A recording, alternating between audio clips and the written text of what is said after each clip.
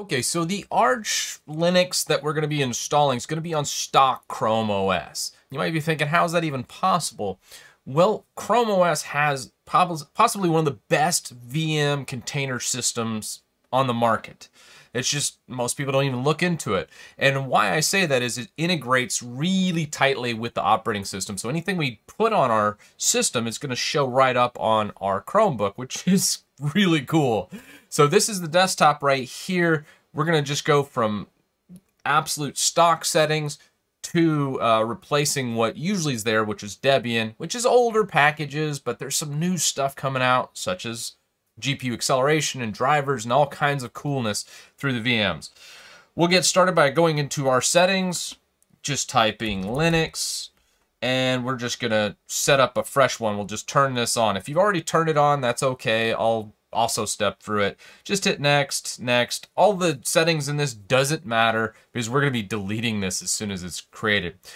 On that screen, pay close attention to that username. That is super important. Uh, that username is going to dictate a lot of different things. It's going to make this process a lot easier if you remember it. Also, uh, don't change it from your stock settings. Uh, a lot of times when you change it, it just doesn't sync quite right with Chrome OS. You can get it there, but it requires a lot more steps, which I won't be going over today. All right, and there we go. We have it right there. Uh, what I like to do, just shut it down. And then we're going to go into our Chrome browser, hold Control Alt T to get into Cross Shell. From Cross Shell, we actually look at our VMCs or our VMs on this machine. This is what was just created. Well, I don't like how Google creates these things, so we're just going to destroy it in typical Titus fashion, and we're just going to go Termina. This destroys this VM, just blasts it out, just tosses it in the garbage can. And then we're just going to go VMC, and we'll do a start Termina. This is going to go ahead, recreate that VM, and uh, push us right into shell. Now, we can actually see what kind of containers. So there's actually three levels to this operating system you need to know about. There's the Chrome OS, then there's the VM, and then there's the containers inside the VM. Now these all work in tandem, but you need to be cognizant of which shell you're in because you could be in three different shells. From here, let's just do an LXC list. You can see we don't have any containers in here, so we need to create one. So we'll do a VMC container Termina for the actual VM that we're in, and we'll name this one Arch. Now, Penguin is actually the stock setting. So if you actually start this up again, you'll see a Penguin one. We could actually name this Penguin, but if for whatever reason you start up something, it'll wipe out all your progress. If uh, Chrome OS sees a bad container, it'll just delete it and recreate it. So really important. That's why we rename this Arch. We'll rename it Penguin later. And this is what we're going to be using, Arch Linux, the current version from linuxcontainers.org. If you're overseas, you probably want to pick a different uh, mirror than US. US is obviously American, which is where I'm at. Uh, we did it from the wrong shell, as I said before, so we can actually just come right back here and we'll just copy and paste this command right in and hit enter. Now this will take a bit probably about two minutes depending on your connection. Uh, here at the house, this usually is about that long on a 100 meg download connection. And there we go. This is actually very common to see this error. Totally okay. And from here, we're able to jump in and start configuring this container. All right, so now let's get inside that VM and check to see what our containers are now. So we'll do a VSH Termina, and then we just do a LXC list. And from here, you can see that we have one. It is running. If it isn't running, you would want to do an LXC start and then the name of the container. So now we're going to connect to that container and open up a bash prompt. So we'll do a LXC execute arch, which is the container name, dash dash, it's space dash dash space. That, that kind of goes against most traditional syntax. I just want to specify there's two spaces here, and then we type bash. And from here, I'd like to just do an update, just do an SYU.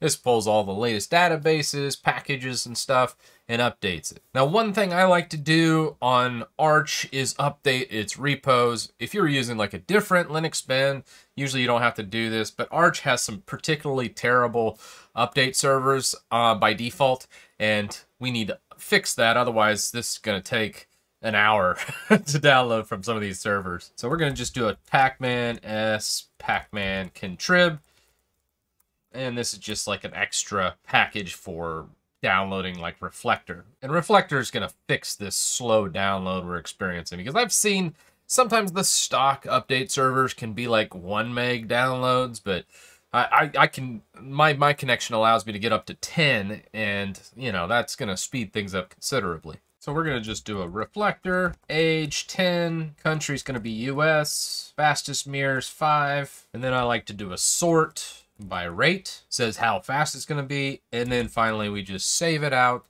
to etc pacman mirror list. Uh, usually you would back up the mirror list, but I don't care. I think we'll, we'll be fine. This process usually takes about a minute to do, uh, and then you're good to go. We'll do an update after this just to make sure, but you'll see it'll go through and fix a lot of stuff. Now, one thing I'm seeing here is we are getting a lot of rsync errors, so I'm actually going to do a Pacman S rsync, and we'll just uh, get that installed right now, and then we're going to rerun that reflector.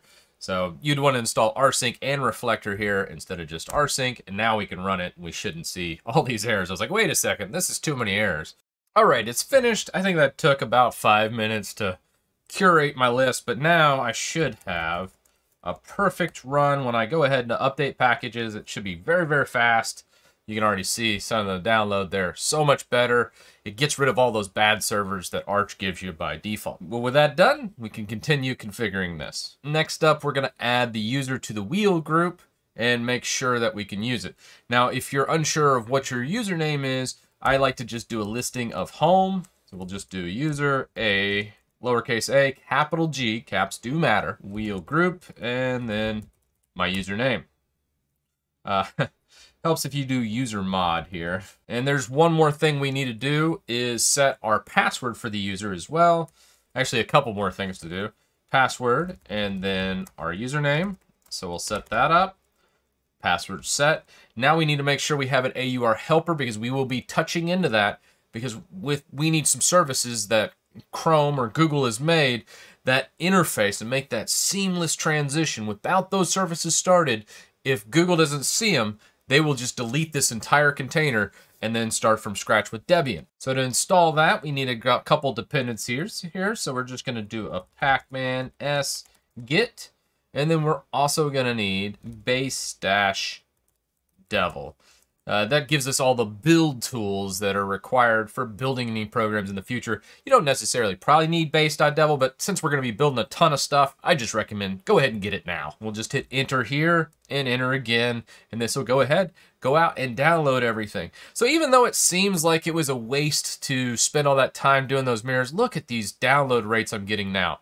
So much better than the stock settings. And now we'll just configure our AUR. We'll just git clone https aur dot archlinux.org forward slash yay dash git dot git. Now we need to take ownership of it with our user because we're not going to build it as the root user. That would basically break your system.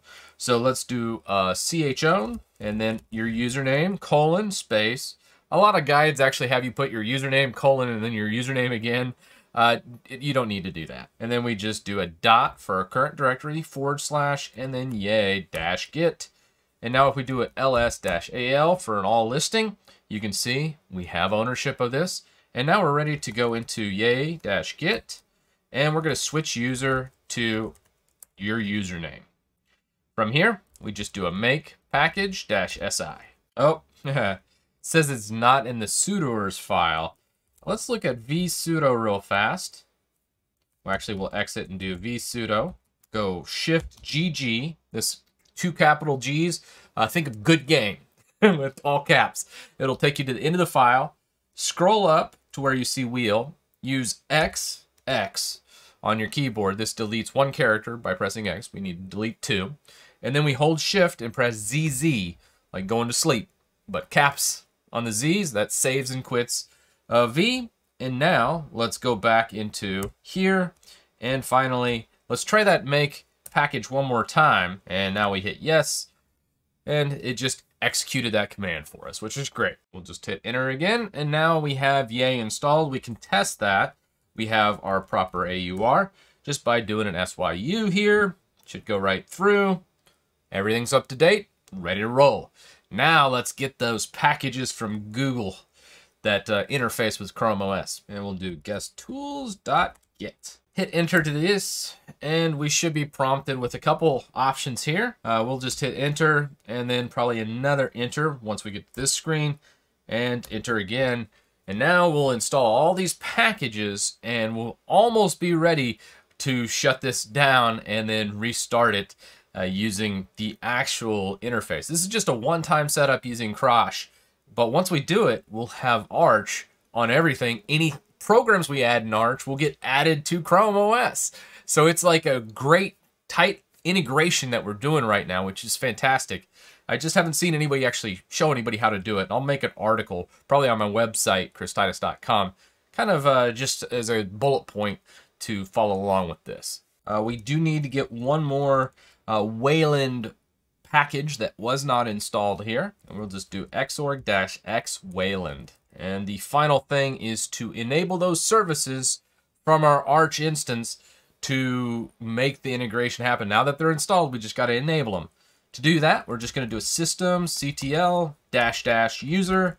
This says, hey, we're as a user. We can't do this as root. Remember, if you're getting errors and all kinds of stuff, you need to be doing this as your user, not root. And we'll install the sommelier services. Probably butchering the name there, but we'll go ahead and do that. Dot service and make sure you put in enable the service. We don't need to necessarily start it because we're going to be shutting down this container after we're finished. And we're running into an issue here. So actually, I'm going to go ahead and exit and exit LXC console arch and then hit enter and then let's sign in as our user. Probably just didn't like the fact we were running as bash. So we'll go ahead, sign in, and now let's do systemctl dash user. Let's see if that was in there. And then we need the dash x service. And then we need to create low density service. So we'll just do a one here for that one. And then a one here for this guy. So it's four services in total. Make sure yours looks exactly like this. And then we can exit. To go ahead and detach from our console, control A, Q to come back to here. And then you can see LXC list. Oh, we have all these containers started, so we'll just do an LXC stop arch. This will stop the container. Now we need to rename that to LXC rename arch to penguin LXC list. I'm actually, I think what happened was I went ahead and didn't exit all the way out. So let's exit this whole terminal. We'll just do two exits to exit everything. Quit here. Let's right click here. Let's shut down that, that instance just to make sure everything's good. And then let's launch and see what we get. Should start the virtual machine and everything there. Now the moment of truth, let's just do a neofetch. Yeah, look at that. It's a neofetch. Arch Linux on Chrome OS. Absolutely perfect. Now, let's uh, show you the power of this by just installing one of my favorite, most used open source programs of all time, and that would be GIMP. Uh, just kind of show you the speed difference. In my prior video, I showed Chromebrew running natively on here. Let's see how much performance uh, difference there is between native and also just going through the VMs. You'll see how well optimized these Chrome OSs are. And now, I think when you install it there, let's see if it pulls into our global menu, Linux apps. And there's GIMP. Now we can click it and we'll pin that, pin that bad boy. Oh, it's looking pretty mighty fine. Uh, let's see what the latency looks like. This will get a lot better once we get GUI or, or graphics acceleration, but um, let's just do eh, very usable. Very usable, and we'll just do some text here. Blah, blah, blah, blah, blah, blah. Yeah, okay, cool. So everything's good here. We'll quit out and discard changes. I'm not a big fan of Chrome browser, and I wanted to install Brave. Well, you can actually use that now. Let's just go Brave and we'll just grab the bin file so we're not actually having to compile all this and we'll hit yes. All right, so now we have Brave installed. Let's try that again. We'll just come into here, look at our Linux apps. Oh, there's Brave. We'll go ahead and launch it through the VM. Yeah, sure, we'll make it our default. And now we could pin this, or actually it's already pinned. Sweet skip the welcome tour, and now we're using the full desktop version of Brave in a Chrome OS. Because if you try and do this through the Play Store, you get like this terrible mobile app Brave browser, which is just garbage. So with this, we'll have all of Brave browser and any other app we want to use directly from Arch Linux.